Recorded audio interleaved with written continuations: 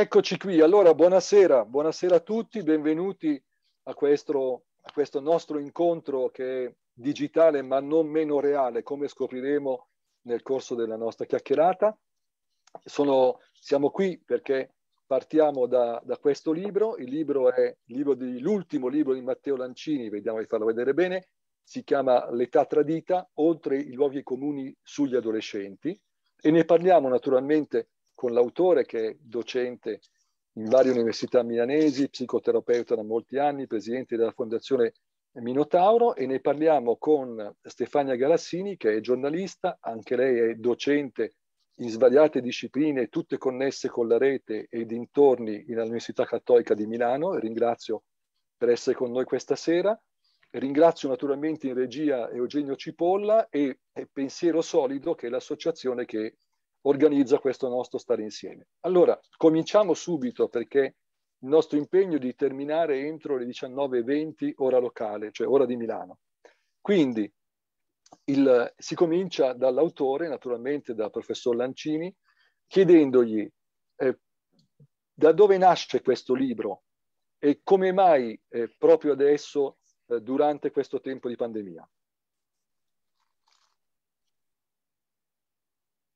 Buonasera a tutti e grazie innanzitutto a Pensiero Solito Antonio Primeri per l'invito, buonasera anche a Stefania Garassini. Beh, nasce dall'idea eh, che eh, in poche parole ci sia una necessità, a mio avviso, di utilizzare un evento così drammatico come la pandemia per eh, aiutare i giovani del nostro paese, i nostri figli, i nostri studenti a eh, costruirsi un'idea di futuro un po' più, come dire, eh, aderente a quelle che sono invece le cadute di alcuni ideali che in questi anni li hanno portato in molte occasioni a stare male, a esprimere disagi verso se stessi.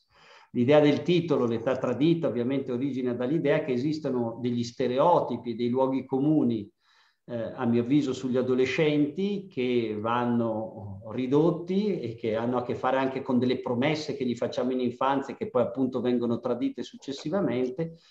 Io sono dell'idea che appunto una pandemia deve essere un'occasione di crescita, di sviluppo. C'è una frase, e termino subito, però per me è importante che mal tollero che in questo momento è di ritornare alla normalità di prima. Io mi auguro che invece una pandemia sia un'occasione per andare avanti, per soffrire, ma per costruire un progetto futuro migliore, in questo caso per i nostri figli e studenti.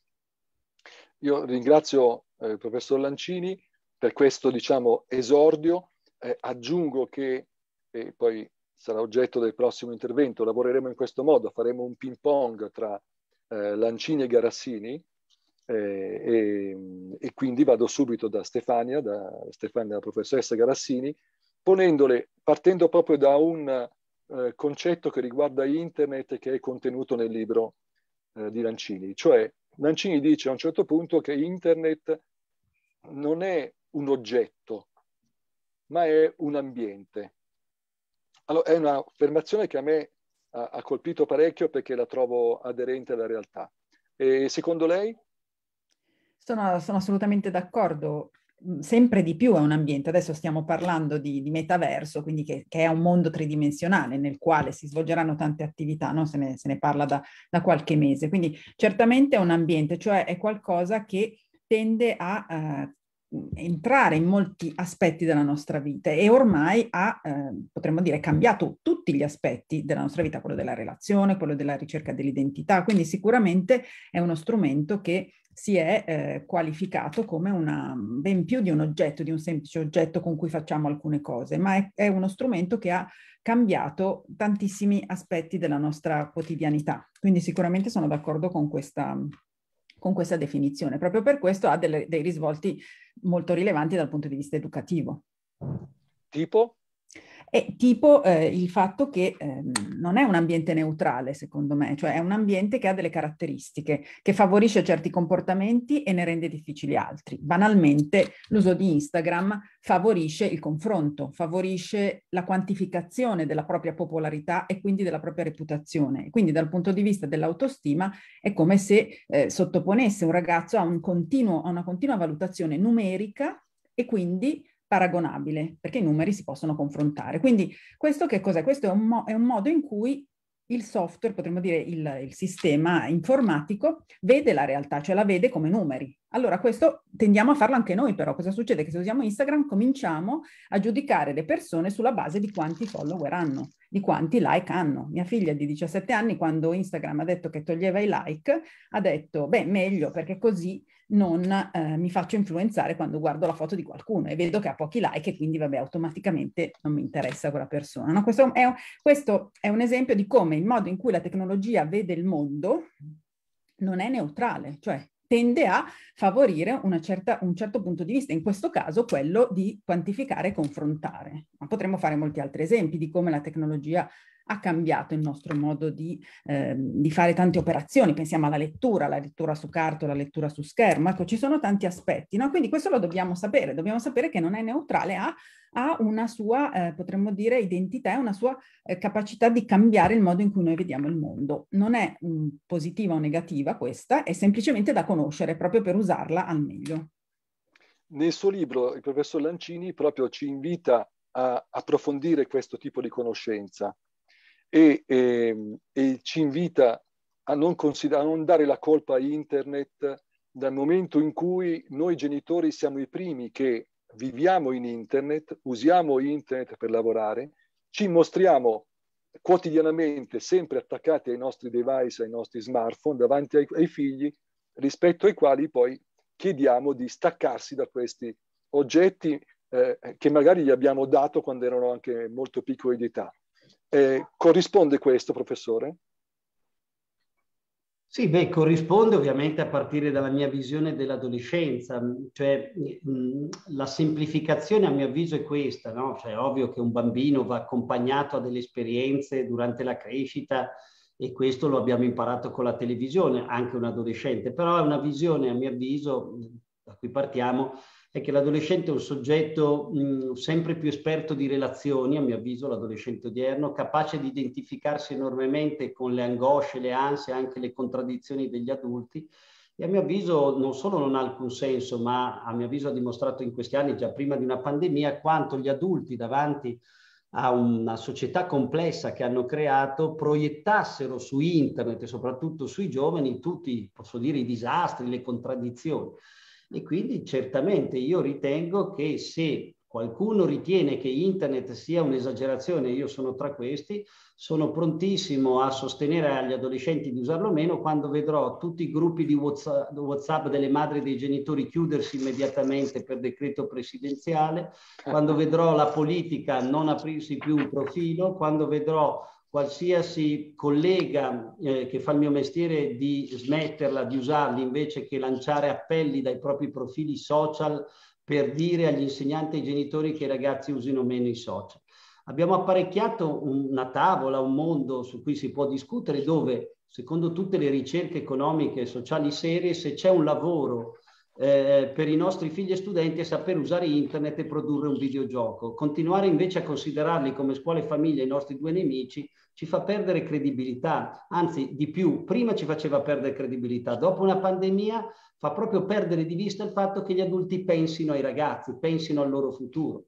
E purtroppo per questo io dico basta prendersela con internet, basta limitarsi ai danni di una pandemia che ci sono sicuramente sulle nuove generazioni, ma la domanda vera è questa, ma che cosa abbiamo intenzione di fare per far sentire a questi ragazzi che sono attesi, che hanno un futuro, che ci sono adulti capaci di identificarsi con i loro bisogni attuali e futuri? Questo è fondamentale ed è chiaro che il mio è un appello, diciamo così, spero appassionato, proprio perché se nel frattempo avessimo generazioni che contestano, che si oppongono, che trasgrediscono, che cercano davvero di riabilitarsi attraverso un progetto che attacchi gli adulti e per riprendersi il futuro, potrei stare più zitto. Purtroppo tutti i dati ci dicono che gli adolescenti odierni davanti appunto alla sensazione di non farcela, perché in adolescenza senza futuro vuoi scomparire, attaccano se stessi e quindi abbiamo il disturbo della condotta alimentare da tanti anni, il suo equivalente maschile che è il ritiro sociale, sempre più ragazzi si suicideranno socialmente chiudendosi in casa e non frequenteranno le scuole, prepariamoci perché questo aumenterà a dismisura, questo fenomeno che è già in aumento, tagli e gesti autolesivi. Quindi sarà meglio che gli adulti facciano sentire che sono in grado di identificarsi con i bisogni futuri di questi ragazzi, tra cui quello di saper usare internet per costruire il proprio futuro, per avere successo, anche popolarità esagerata, come è stato detto prima. Del resto anche la scuola e i modelli televisivi ogni giorno eh, misurano tutto in termini di audience, di voti e di bocciature. Quindi se vogliamo contrastare il mondo di internet iniziamo dalla scuola, dalla famiglia, contrastiamo i modelli competitivi, ma auguri, eh, perché oggi devi avere successo e popolarità a scuola, ti danno la coroncina al primo giorno per valutarti alle primarie, ti dicono sei fuori che il tasso di bocciatura è corrispondente, come sappiamo, anche alla dispersione scolastica che è un'emergenza e l'unico problema sarebbe quello della rete. Eh no, è appunto una cultura adulta che anche attraverso la rete deve pensare un po' di più al futuro di questi ragazzi. E il libro del professor Lancini, come lui stesso dice nella parte finale, e, e come abbiamo sentito adesso, non è un libro di ricette, perché Lancini dice nella parte finale del libro che eh, lui non, non dice non sono i dieci modi con i quali trattare un adolescente che non rispetta gli orari di consumo dei videogiochi in casa, giusto per fare un esempio. Ma è un libro eh, che, come stiamo cominciando a capire, offre una cornice e un metodo, cioè non ci dice il come, ma ci invita a mettere a fuoco il cosa e il perché. Professor Lancini, se se l'ho letto bene, perché anche su questo ci sono sempre fondati dubbi sul fatto che uno, perché il problema della, fondamentale della comunicazione, come insegnavano ai tempi l'Università Cattolica a me e anche a, a Stefania, è quello della ricezione. Allora, se l'ho capito bene, il, il, in questo libro di non ricette, il punto nodale però è, come dire, cambiare lo sguardo con il quale il genitore guarda i propri figli adolescenti corretto? È proprio così, ma non solo il cosa e il come io ho tentato, ma il chi. Anzi, io una ricetta la do, devo dire la verità nel libro, non credete a chi fa il mio mestiere e vi dà le ricette, perché purtroppo questa è una questione legata alla fragilità adulta. Dei consigli provo a darli anch'io, ma come giustamente ha sottolineato, il tema centrale è eh, essere in grado di ascoltare e capire chi hai di fronte. E come sappiamo i figli sono unici, noi siamo persone, non è che gli adolescenti sono una categoria, no? Cioè, la chiamiamo adolescenti come noi ci chiamiamo individui, ma ognuno di noi e i genitori che hanno due figli lo sanno, hanno bisogno di un padre e di una madre differenti, eh, pur vivendo in una comunità, perché hanno caratteristiche differenti. Allora, la questione centrale a mio avviso è questa. Oggi la famiglia ascolta molto di più i figli di quanto venissi ascoltato io mediamente, la mia generazione, per non parlare di mio padre, che lo dico sempre, non so neanche se mio nonno sapesse quanti figli aveva in casa, eh, forse li aveva fatti. Quindi non è certo un problema di una famiglia che oggi non ascolta. Il problema è se siamo in grado di eh, ascoltare chi abbiamo davanti e quindi di accettare anche gli inciampi, i fallimenti, i dolori, eh, le crisi della crescita, i grandi rimossi da una società dove la fragilità adulta, e qui non è solo quella di papà e mamma a volte, ma anche quella degli insegnanti, porta a fare interventi stereotipati perché sono scritti sul libro delle ricette, perché sono scritti su non si sa quali, mm, diciamo, tavole sacre, che però perdono di vista chi abbiamo di fronte. Allora su questo è chiaro che io penso sia importante. Raggiungere un figlio dov'è, uno studente là dov'è, al di là delle etichette, dei disturbi specifici, dovrebbe essere il compito di tutti gli adulti alle prese con un figlio e uno studente e ognuno di noi ha un funzionamento diverso che ovviamente poi deve essere regolamentato in una comunità. Eh, Stefania, professoressa Garassini, eh, eh, Lancini ha detto ascoltare chi abbiamo davanti. Nel suo libro a un certo punto dice così, sarebbe importante provare a interessarsi autenticamente, interessarsi autenticamente alle esperienze in internet dei propri figli, chiedere a loro e informarsi sul significato delle scelte effettuate nell'infinito mondo virtuale oggi sempre più reale in questa vita on life, eh, ripetendo eh, la definizione che ha dato eh, il filosofo Luciano Floridi. È corretto questo, no? Mi sembra, eh, questo è un modo in effetti di tradurre questo ascoltare che abbiamo davanti, eh, facendoci carico in qualche modo realmente, condividendo eh, quello che sono le scelte, non solo online, ma penso anche alle scelte dei videogiochi dei figli? Sì, certamente sì. Io credo che è vero che la tecnologia di per sé non è l'unico punto dove appunto ci sono queste logiche di competizione, queste queste dinamiche eh, che tendono a eh, rendere più difficile la vita degli adolescenti. Non è certamente solo la tecnologia, giustamente è tutto un ambiente, però è vero che la tecnologia è come se fosse una scorciatoia formidabile verso quelle che sono le passioni dei nostri figli, cioè lo smartphone che hanno in mano è un concentrato di passioni, di qualcosa che a loro interessa moltissimo e quindi in, per questo solo motivo deve interessare anche noi. E quindi ecco, questo è l'approccio che, che possiamo avere. No, non possiamo dire no, tu stai perdendo tempo, no? quello che ci rimproverano i ragazzi quando ci dicono boomer, no? tu non capisci, tu mi dici solo che uso il telefono e sto perdendo tempo, ma non è assolutamente vero perché non tutto il tempo sullo schermo è uguale. No? Quindi cercare di capire che le attività che, che i ragazzi hanno usando lo smartphone o usando gli altri strumenti tecnologici sono attività diversificate che possono andare dal coltivare una passione, una passione attraverso tutorial su YouTube, cioè io ho un'altra figlia che ha imparato a suonare l'ukulele attraverso dei tutorial su YouTube e si è appassionata e ha cominciato a guardare video. Quindi ecco, questo è un uso creativo, un uso attivo del, del, del mezzo, per esempio, no? poi ce ne sono altri. Quindi cercare di capire che è un mondo intanto mh, complesso, mh, e poi nel quale i ragazzi riversano delle passioni reali e in cui provano delle emozioni reali, cioè verso quella youtuber, verso quella instagrammer, nostra figlia magari prova una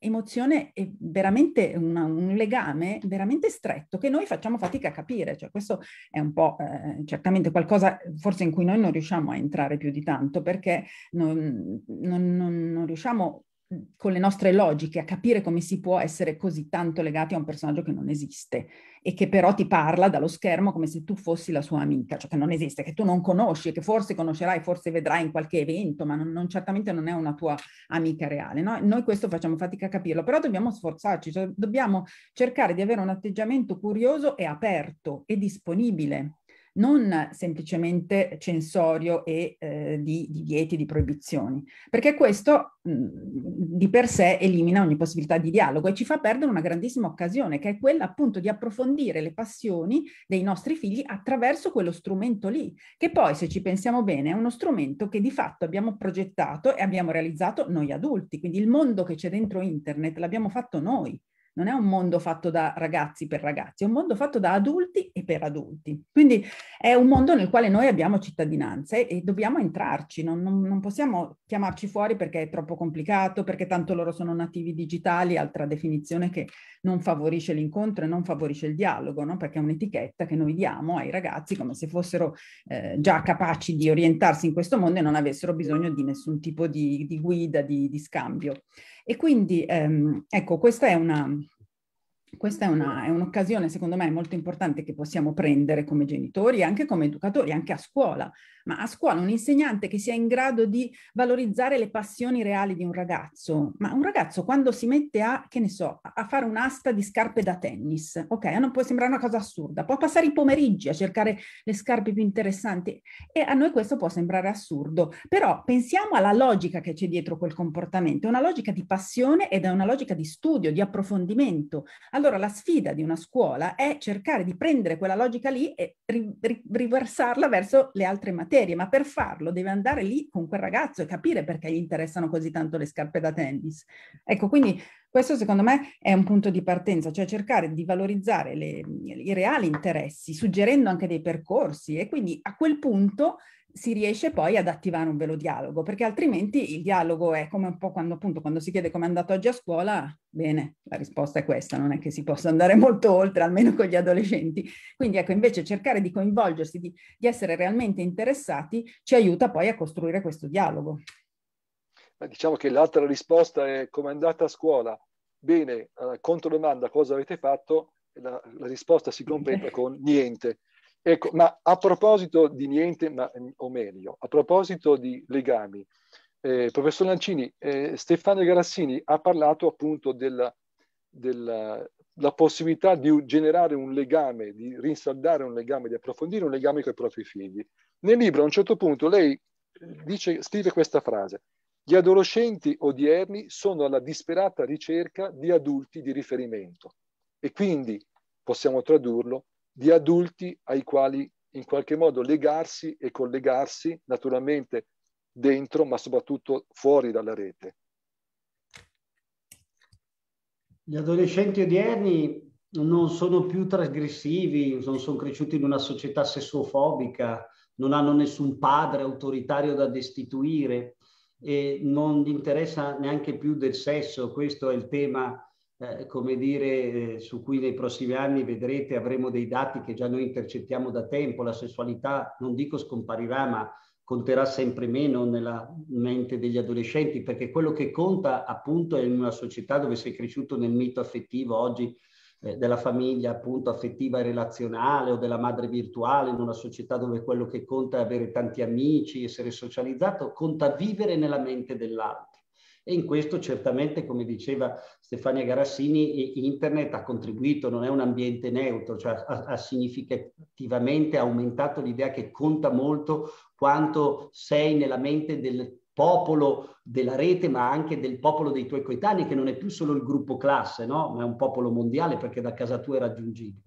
Detto questo, eh, il grande, diciamo, novità è che insieme al sesso che non interessa e quindi interessa penetrare la mente dell'altro e non il corpo, vedi il selfie, vedi il sexting, c'è una ricerca appunto di essere pensato che riguarda anche gli adulti ed è una straordinaria novità.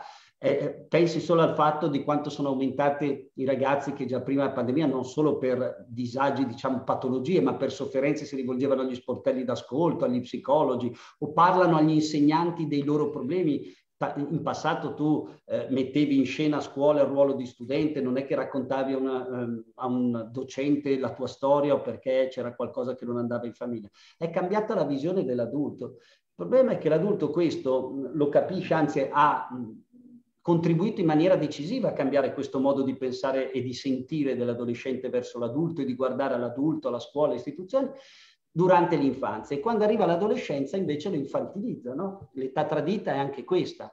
Noi abbiamo dei modelli in Italia, lo dico da tempo, è un'emergenza, so che oggi dire emergenza c'è solo quella sanitaria, ma è un'emergenza educativa da tanti anni che c'è un processo di anticipazione o di precocizzazione delle esperienze dell'infanzia. I bambini oggi sono spinti a crescere con una precocizzazione, con modelli nuovi e poi li infantilizziamo in adolescenza, con l'arrivo delle scuole secondarie e dell'adolescenza. Improvvisamente cambia il paradigma. Quindi il tema è questo, puntare tutto sulla relazione. E attraverso la relazione oggi un ragazzo ti segue, non ti segue a scuola sulla singola disciplina, la singola disciplina, le materie pensano che possano essere recuperate, quello che pensano che non è recuperabile è non essere pensato dall'adulto e se un adulto è in grado di offrire relazione, ovviamente nel suo ruolo, poi la disciplina la segui, no? la materia è quello, ma perché c'è passione, c'è relazione, c'è interesse, c'è capacità di stare in relazione. Invece molto spesso noi, è come se anzi in generale è questo il problema, creiamo bambini che sono iperrelazionali, che devono conoscere tanti di quei coetanei che sapete meglio di me che a 11 anni hanno frequentato tanti di quei coetanei che io avevo frequentati all'ultimo anno di università. Gli diciamo che devono vestirsi a 8 anni, anticipare le esperienze come ci vestivamo noi appunto all'ultimo anno dell'università. Tra poco il pigiama party dei bambini lo faranno direttamente in uscita dalla nursery perché tanto il pigiamino ce l'hanno già essendo appena venuti al mondo poi arriva l'adolescenza e gli diremo che sono fissati con le relazioni, che non si sottomettono all'adulto, che vogliono vivere nella mente degli altri e che invece è tutto sbagliato, perché adesso invece è arrivato il momento che devono chiudersi in una stanza, soffrire in silenzio e domani ripetere quello che qualche insegnante vuole sentirsi dire, altrimenti lo bocciamo. Capisce? Non è così che funziona. Loro non vedono l'ora di andare avanti con questi modelli. Noi sappiamo adesso la scuola è composta in Italia da 43.000 edifici, quindi è come le famiglie, eh, sono ognuna una cultura unica, quindi adesso non vorrei generalizzare, ma che ci sono alcune scuole, anche secondarie, che sono andate in questa direzione, che sanno che oggi conta molto la costruzione dal basso, che gli errori sono parte del processo di crescita delle competenze della scienza, eh, scuole che parlano della co-costruzione dei saperi, lezioni meravigliose a distanza, diciamolo, eh. in Italia oggi ci sono state delle lezioni meravigliose a distanza e pessime lezioni in classe, non è che basta aprire una classe per dire che bella la lezione in presenza.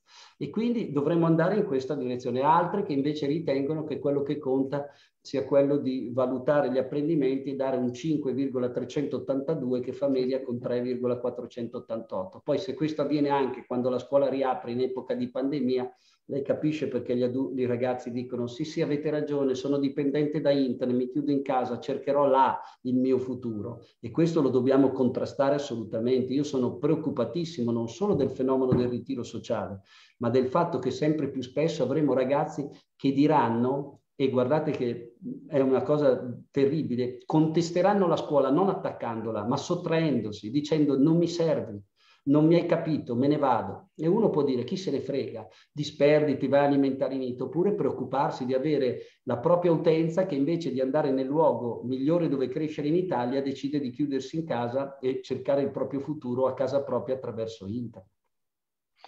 Su questo poi eh, torniamo più avanti e ripasso eh, da Stefania Garassini, anche qui proponendole ancora un passaggio del libro che è il seguente e che riprende una parte delle ultime eh, affermazioni del professor Lancini, cioè è molto più difficile individuare alternative che proporre divieti.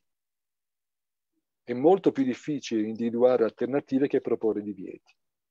Allora, eh, questo nel libro riguarda internet, ma come abbiamo capito, eh, riguarda in generale l'approccio di noi genitori nei confronti dei figli adolescenti. E qual è il, il suo punto di vista, Garassini? Certamente il, il, è molto più difficile trovare alternative, no? abbiamo visto come, come, può nascere un dialogo all'interno di una, di una condivisione degli argomenti e, delle, e, dei protagonisti del mondo digitale, non è facile, ci vuole, bisogna dedicare del tempo, bisogna essere autenticamente interessati, allora da lì poi possono partire le alternative, quindi certamente questo è, è, più difficile, possiamo proporre alternative ma sulla base di un vero interesse verso quello che adesso piace ai nostri figli, non che vorremmo che gli piacesse la, la conferenza di fisica quantistica, invece loro guardano Favij. Ecco, dobbiamo trovare una mediazione, cioè dobbiamo cominciare a guardare Favij e poi eh, a capire che cos'altro potremmo proporgli, proporgli naturalmente. Questo però si lega a un discorso mh, del, diciamo, su una certa gradualità che ci vuole per accedere al mondo virtuale, al mondo digitale. Io credo che sia certamente importante introdurre alternative, però che una forma di gradualità sia necessaria per riuscire poi ad arrivare in modo maturo a poter fruire delle offerte del mondo digitale. Quindi Certamente i divieti da soli non bastano, però credo che qualche limitazione eh, all'utilizzo di questi strumenti possa essere utile proprio per riuscire a favorire una gradualità, un arrivo eh, a, possedere uno smartphone, a usarlo in modo maturo eh, quando, è, quando effettivamente questa maturità c'è. Cioè quando noi consegniamo uno strumento del genere a un ragazzino dobbiamo essere anche in grado di fidarci un po' di lui, di lei. Cioè non, non, possiamo pensare di dover controllare tutto quello che fa, questo non ha senso. Cioè è più, allora è meglio com, a, magari aspettare eh, di più a dare, a dare uno strumento del genere e cominciare a esplorare il mondo digitale insieme usando altri strumenti, per esempio il PC, per esempio l'iPad, per esempio la, la, la, PlayStation, giocare insieme a qualche, a qualche videogioco. Ecco, c'è tutta una gradualità che eh, fa parte di questo discorso delle alternative, cioè noi possiamo comunque offrire delle alternative ai nostri figli, possiamo comunque cercare di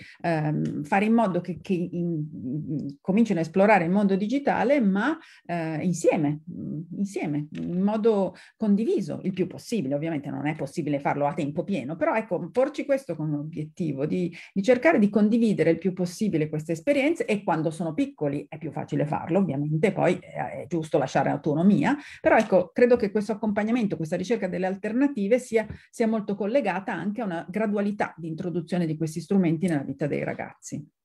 Quindi, eh, Stefania, eh, la password dello smartphone non deve essere nota ai genitori? Domanda bruciapelo, risposta bruciapelo. Mm, io credo che la password dello smartphone dovrebbe essere nota ai genitori, eh, almeno fino ai 13-14, cioè diciamo nei, nei, primi anni di liceo. Eh, No, non perché la debbano usare, non la devono usare, è come la chiave della camera di un ragazzo.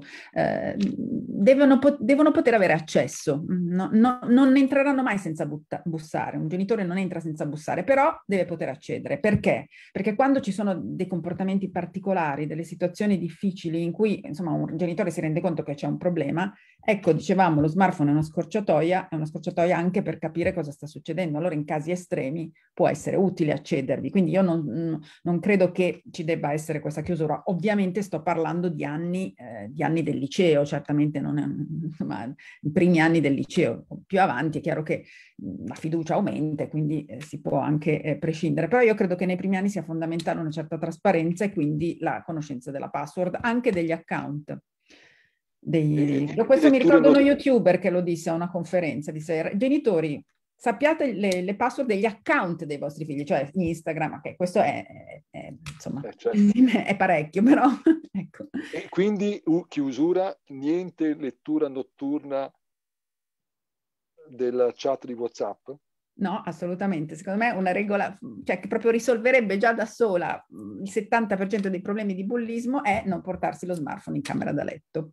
E, questo non lo dico io, lo dicono gli americani, guru della Silicon Valley, dicono no screen in the bedroom, cioè a una certa ora la tecnologia rimane fuori dalla camera, tu ti, che hai un momento in cui non sei contattabile, no? sei da solo con te stesso, leggi un libro, non sei sempre sollecitato da quello che succede all'esterno. E questo, se ci pensiamo, è eh, un modo appunto per risolvere anche i problemi legati al bullismo, perché eh, io credo che un messaggio negativo eh, ricevuto da una ragazzina da sola in camera sua di notte, in, un messaggio che le dice qualcosa di, di, di estremamente sgradevole, di, di cattivo nei suoi confronti, è non so, adesso appunto poi mi piacerebbe sentire anche il parere del professor Lancini, è sicuramente ha un impatto emotivo molto più forte che non lo stesso messaggio visto la mattina dopo col sole mentre si fa colazione con la mamma e i fratellini. Quindi, sentiamolo subito allora Lancini. Eh, Lancini, sentiamolo. Cosa, cosa dice?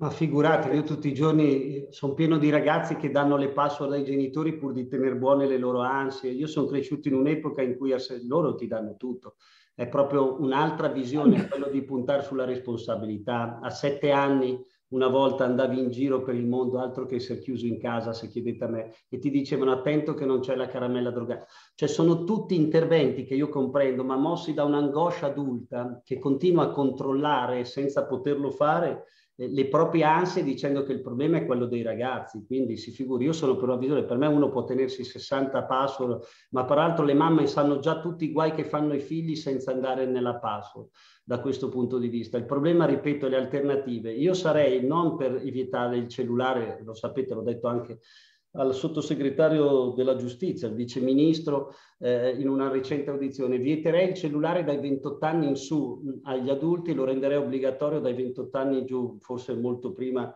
dei 12, degli 11, cioè è una visione di che alternativa abbiamo. A 7-8 anni, in un mondo pericoloso fatto di stragi di Piazza Fontana a Milano e morti in strada, i bambini andavano in giro per le città, Capisci? Altro che dentro la questione, era una visione diversa perché gli dicevano quello è il mondo, c'è la comunità educante, quello è il problema, li abbiamo messi sotto sequestri noi, non è che il cellulare li ha catturati mentre li potevamo lasciare andare in giro, li consegniamo a un asilo nido durante sei mesi e poi gli teniamo il corpo sotto sequestro. Quindi io è proprio per la mia visione punterei tutto sulla responsabilità e poi sull'alternativa.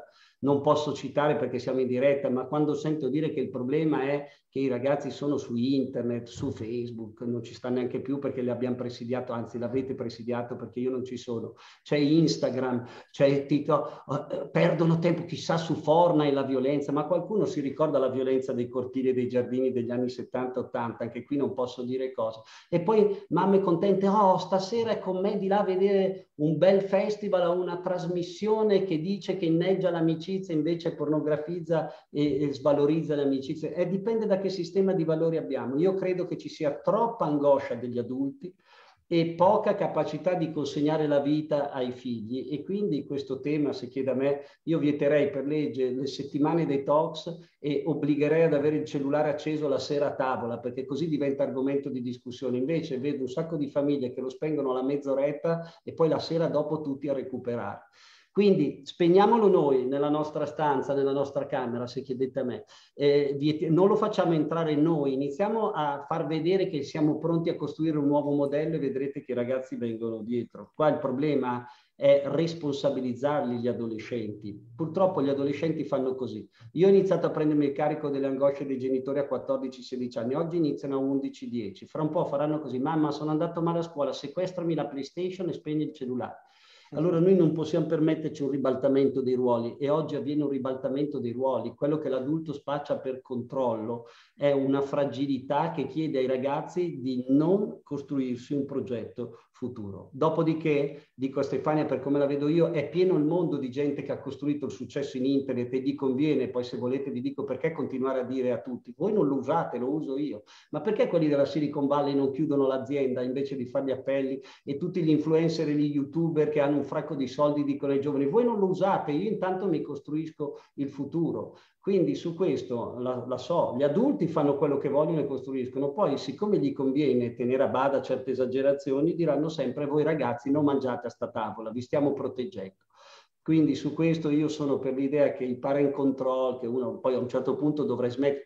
Vi ricordo che se un, un, ragazzo di 30 o 35, 40 anni chiede alla mamma la password o non esce di casa, si chiama psicotico, eh? cioè non è che bisogna vivere chiedendo il permesso e a che età farlo? Quando uno oggi è maturo, vi posso garantire che ci sono dei tredicenni che usano in modo stramaturo uno smartphone e dei sessantenni che lo usano in maniera sconsiderata. E, e quindi dov'è sta maturazione? Da cosa dipende? Dal valore che ognuno di noi mette intorno a che cos'è un comportamento responsabile. Il futuro Ma... è nella responsabilizzazione degli adolescenti, l'abbiamo visto nella pandemia. Dopodiché vogliamo scegliere a 16, 18, 22. Per me possiamo anche tenere la password fino a 48 anni. Anzi, io sarei perché abbiano la password, però i figli dei genitori, perché i genitori fanno dei disastri con internet che voi non lo sapete neanche.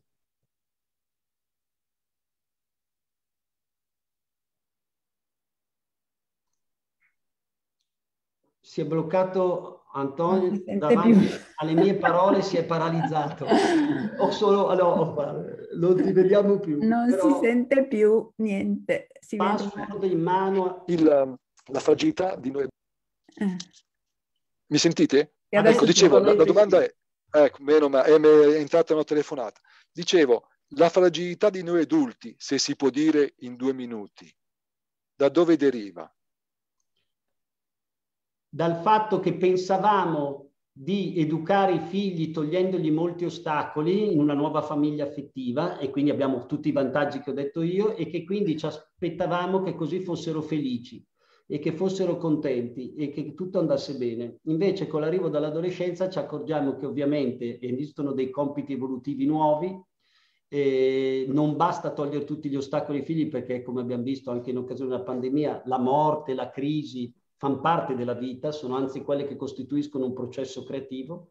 E poi credo che ci sia qualche senso di colpa, in effetti, per una società dove la caduta della comunità educante, non lo dico io, questo sì lo dicono tutti gli oratori, lo dicono tutte le scuole, lo dicono tutti gli educatori, cioè gente che prova a non vivere in internet, è stata una caratteristica personale. Quindi ci siamo troppo interessati all'idea di costruire la felicità dei nostri figli fregandocene degli altri, per come la vedo io e dopo ci siamo accorti che poi avevamo dei ragazzi molto spregiudicati che vogliono fare quello che vogliono, però anche con una fragilità. E a quel punto proviamo, in nome della nostra, a riprendere un controllo, ma che ormai è tardivo, perché il soggetto è cresciuto per 13-14 anni esattamente come lo voleva la mamma e il papà che improvvisamente gli dice però adesso basta, ti devo controllare, non essere così espressivo, non stare tanto con gli amici, ti ho cresciuto riprendendoti a partire dalla morfologica, tutte le recite che hai fatto dall'asilo, ma adesso il cellulare non lo devi, se inizi a tenerlo in mano tu è troppo, è troppa dipendenza. Insomma, sono contraddizioni.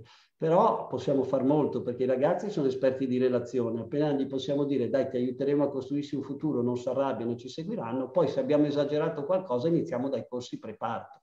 E anche dalla chiusura per legge, e faccio un appello, che si avvera dei gruppi di WhatsApp di chiunque abbia sopra i 30 anni, soprattutto di quelli che governano la classe, le, le squadre eh, di calcio. Io voglio eleggere un rappresentante di classe della, squadra, de, de, della scuola di mio figlio, non un rappresentante di una chat dove si sviluppano delle dinamiche che meriterebbero degli approfondimenti, dove c'è il gruppo, poi c'è il sottogruppo leader che parla male delle altre che hanno fatto queste cose e parlano più male poi degli altri. È lì che si crea la società terribile dell'individualismo, della competizione, dei like a tutti i costi, dell'essere dalla parte dei vincenti. Ho gente che durante la pandemia sosteneva che io dovevo fare il tampone di mio figlio secondo dei criteri fuori da ognuna delle leggi che appunto voi al governo davate al ministro Speranza, perché secondo lei non ero etico se non facevo fare un tampone a mio figlio perché l'allenatore aveva incontrato 15 giorni prima un altro allenatore che aveva incontrato 15 giorni prima un ragazzo che viveva in un'altra regione e aveva il coronavirus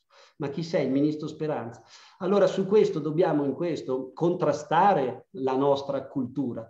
Torniamo a incontrarci nelle classi, riapriamo i cortili e i giardini, eh, obblighiamo i figli ad andare da soli a scuola e allora vedrete, vedremo se è internet il vero male.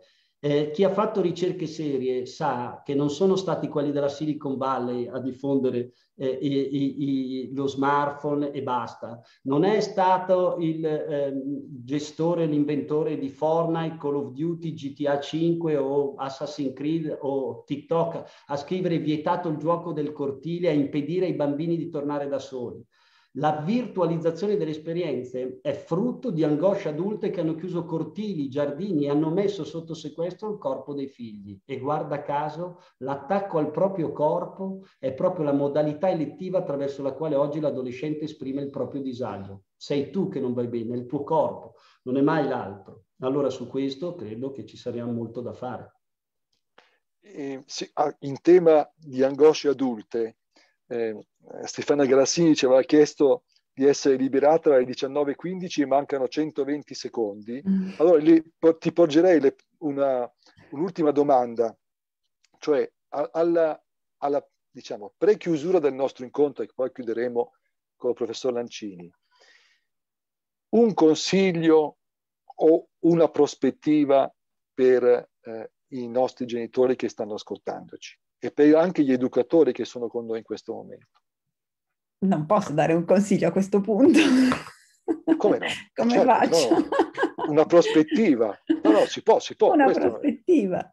Ma sì. allora, io credo che non c'è un, una ricetta, sono assolutamente d'accordo su questo, ma penso che si debba partare, partire da un approccio realistico, cioè come siamo fatti noi e come sono fatti i mezzi. Abbiamo visto che i mezzi non sono neutrali, quindi eh, è vero che si possono usare bene o male, ma non è vero che non ci influenzano, quindi dobbiamo saperlo e dobbiamo cercare di usarli bene. Io non sono d'accordo che dobbiamo per forza tornare in cortile, sì, possiamo tornarci per carità, ma dobbiamo anche imparare a usare bene internet, cioè su internet si creano delle relazioni vere anche. Naturalmente non possono essere solo quelle, no? Ci devono essere anche quelle nella vita materiale, fisica, però sono reali. Quindi eh, usarlo bene e, ehm, e, partire però da come siamo fatti noi. È verissimo, anch'io chiuderei tutti i gruppi WhatsApp. Io, mm, cioè, gruppo, sono rappresentante di classe di mia figlia in seconda liceo e abbiamo deciso di non aprire il gruppo WhatsApp. Alcuni genitori ci hanno scritto perché non l'aprite? No, ma facciamo con la mail, lasciamo perdere.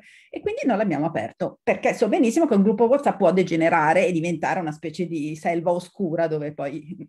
Però questo non vuol dire che allora i ragazzi vanno bene, a mio avviso, che possono fare tutto. Vuol dire che anche noi dobbiamo imparare molto, no? Allora che, che sia noi che i ragazzi abbiamo davanti le stesse sfide, gli stessi problemi, dobbiamo tutti imparare a usare bene questo, questo strumento, perché appunto ha delle logiche sue e, e per esempio su WhatsApp favorisce una escalation dei toni, no? per cui uno comincia su, su, un livello, diciamo, tranquillo e poi non si sa perché comincia a diventare, non si sa perché, si sa perché è semplice, perché basta cliccare invio e quindi si, si scaldano i toni, no? allora poi diventa eh, ingovernabile la situazione. Allora, sapendo questo, però io credo che l'atteggiamento migliore e più... Eh, eh, così che ci dà anche speranza, la possibilità di, di, fare qualcosa, come giustamente si diceva prima, è quello di essere, ehm, sapere che abbiamo davanti le stesse sfide, noi e i ragazzi. Quindi il famoso cellulare fuori dalla stanza, certo che dobbiamo tenerlo anche noi adulti e dobbiamo essere i primi che lo dobbiamo caricare fuori. E come ci svegliamo?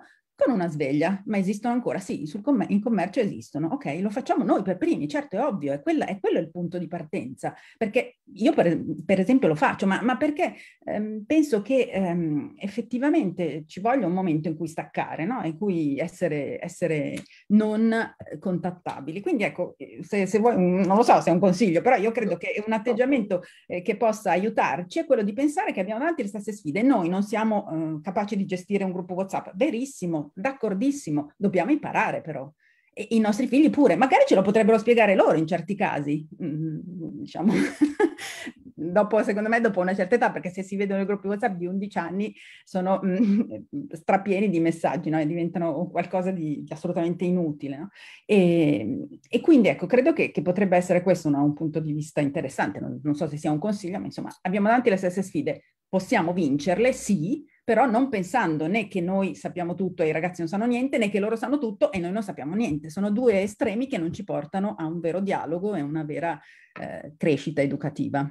E adesso no, effettivamente me ne devo... Allora, io, diciamo, grazie, grazie a, a, a voi. Garassini per essere stata con noi. Se dovessi riassumere questo, questa sua chiusura, direi che siamo tutti primitivi digitali, esatto. sia i nativi che gli immigrati, e da primitivo digitale ti auguriamo, gli auguriamo un ottimo fine settimana eh, alla, alla, con la musica dell'ukulele e eh, torniamo da professor Lancini per la chiusura del nostro incontro. Grazie, arrivederci. Grazie, grazie.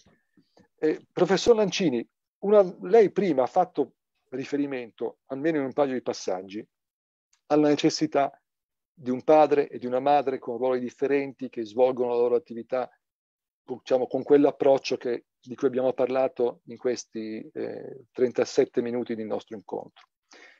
Però purtroppo sono sempre di più le famiglie monogenitoriali dove normalmente, più delle volte quantomeno, c'è solo la mamma e il papà per tanti motivi non c'è o c'è molto poco. Allora, rispetto a questa solitudine dell'adulto, che no, anche qui è una situazione, diciamo, relativamente nuova rispetto a quando eravamo eh, bambini noi e, poteva, e andavamo a scuola a partire dalla terza elementare, non a caso perché in seconda elementare c'era l'esame, che era il primo step, primo, prima sanzione positiva verso l'età adulta. Allora, in questo contesto che indebolisce, credo, oggettivamente, senza voler dare un giudizio moralistico, la condizione di noi genitori, come ci si muove rispetto a questa fatica che diventa doppia alla fine nella solitudine. Ma guardi, questo tema di dove andremo, che cosa sarà una funzione paterna, una funzione materna, come si declineranno, è un tema complicatissimo, molto anche, come dire, su cui si scatenano tanti dibattiti ideologici. Io credo che il tema è quello della comunità educante, della rete, anche nelle difficoltà. Cioè quello che non dobbiamo dimenticare, forse io non l'ho detto abbastanza, è che la famiglia e la scuola hanno molti più competitors del passato, che quindi anche una famiglia unita oppure una famiglia monogenitoriale, cui si può, ci si può anche sentire più soli, anche se ci si può sentire soli anche in due a volte, eh, più da soli dipende, ha bisogno di, un, eh, di creare un contrasto a aumentati modelli di identificazione che oggi sono tantissimi i competitor che hanno la scuola e la famiglia, eh? Eh, appunto televisore 24 ore al giorno di cartoni animati, il marketing dei bambini, i bambini di oggi so, crescono sdraiati, hanno conosciuto tanti coetanei, quindi il potere orientativo dei coetanei e potrei andarne a dirne molte altre. Quindi credo che il tema, noi abbiamo parlato di internet, ma più in generale, sia che cosa vuol dire oggi creare una comunità, no? una comunità che sostiene. Su questo io, eh, l'ho detto prima, penso che alcune delle cose che abbiamo detto ritornino, se ve ne siete accorti, ancora l'idea di trattare internet come fosse uno strumento, un oggetto che crea, ma tutte le cose che noi diciamo di internet, credetemi, le potete vedere ogni giorno in qualsiasi aula possono succedere, scolastica, a volte posso dirlo politica, oppure eh, può succedere in qualsiasi ambiente e noi continuiamo a dire che l'algoritmo di internet a favorire questa roba qua. Internet Certo che avrà amplificato questo aspetto, ma si è diffuso in una cultura di questo tipo, perché non c'è la competizione ogni giorno a scuola, non ci sono i genitori che invece di essere contenti di avere qualche bambino che dà fastidio al proprio a scuola vanno dall'insegnante a dire ma li potete togliere dalla strada della crescita che mia figlia al secondo anno delle primarie è indietro nel programma di matematica? C'è un pensiero che ha aumentato l'individualismo e la solitudine. E allora diciamo che è colpa, è colpa, della rete. Ma tutte le cose che abbiamo detto della popolarità, del successo, del conflitto, delle risse, cioè sarebbe WhatsApp ad alimentare le risse? E no, allora ci sono anche una serie di programmi televisivi che aumentano l'audience con la rissa. Cioè ci sono tanti modelli che noi dobbiamo costruire su questo. Ora, perché, guardi caso e finisco, eh, le lascio la parola, io difendo internet che non ho un profilo neanche, nonostante, come suggeriscono tutti, invece di essere qui a cercare di parlare del mio libro, se avessi dedicato questi 40 minuti a prendermi un profilo TikTok e ballando, come dico sempre, a petto nudo, sarei in testa alle classifiche domani, invece forse venderò qualche piccola copia. Eh, sono scelte che ognuno di noi fa quindi io internet sono pronto a chiuderlo domani, ma tutti ci dicono che dobbiamo aiutare i ragazzi a muoversi lì dentro e che il controllo in adolescenza è destinato a fallire, ci sono ricerche ben prima di internet. Dobbiamo responsabilizzare, dopodiché capisco che l'angoscia è tale che ho sentito dire fino a prima dell'8 marzo e poi termino del 2020 che internet li rendeva gobbi, eh, li faceva venire, mancava la vitamina E, pure ricerche che sostenevano non so come che praticamente gli adolescenti si suicidavano perché la notte appunto attratti come le falene dalla luce blu del telefonino non dormivano e quindi il giorno dopo si buttavano sotto un treno. Io mi domando se chi dice queste cose incontra gli adolescenti. Purtroppo chi incontra gli adolescenti eh, dovrà dire questa frase di chiunque, ma è più maturo di quello che pensavo di quelli della loro età. E eh noi che non li guardiamo, non li ascoltiamo. I ragazzi che pensano di suicidarsi hanno stilato un patto con la morte volontaria perché non vedono futuro, perché incontrano adulti che gli continuano a fare una moralina e non gli dicono che progetto avranno nel futuro, perché sentono di non avere uno spazio in cui sono pensati, sono convocati, mica perché hanno dormito poco per colpa dello smartphone. Capisco che così andiamo a dormire sonni tranquilli, oppure per una challenge, ecco l'altra favoletta. Volevano vivere, eh, ragazzi che si sono impiccati, così al funerale applaudiremo e lanceremo palloncini invece di pensare a che società abbiamo creato. Noi, colpa della challenge, non di certi nostri modelli educativi. Quindi dobbiamo essere realistici. Iniziamo a fare qualcosa per aiutare i nostri figli ad avere un futuro. E se qualcuno dice che l'unica cosa che devono fare, anche dopo una pandemia, che li ha costretti dal 9 marzo a stare davanti a uno schermo sei ore e adesso ritorniamo a scuola, adesso lo spegni, è chiaro che loro se ne andranno da un'altra parte, ma lo faranno per sopravvivere, perché purtroppo non hanno neanche la capacità di dire ma smettila di pensare a te stesso, scuola e famiglia, pensa a me. Invece loro pensiamo a noi stessi dicendo che pensiamo a loro. E quindi per favore vai a dormire senza il cellulare, che io lo uso tutta la vita. Tu per favore a tavola tienilo spento mentre tutti costruiscono. E anche quelli che sono ricchi lanciano appelli dai loro profili social, ricchi grazie ai social, non li usate, vi fanno male, lo uso io. Eh?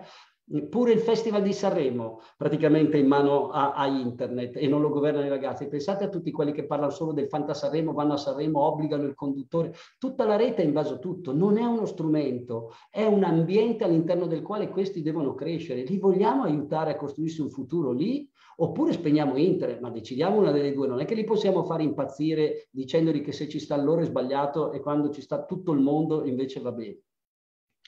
Direi che insomma l'abbiamo detta con chiarezza, io le dico eh, che ho lasciato una recensione positiva su Amazon, recensione positiva del libro, perché nella parte finale del libro c'è proprio un esempio tratto da una recensione negativa eh, su Amazon, lo dico a parziale consolazione e con un sorriso naturalmente, ma con eh, in realtà seriamente con un grande ringraziamento perché credo che comunque abbiamo seminato un po' più di eh, consapevolezza e io credo e spero di desiderio di una, un approccio diverso, nel, uno sguardo diverso nei confronti dei nostri ragazzi.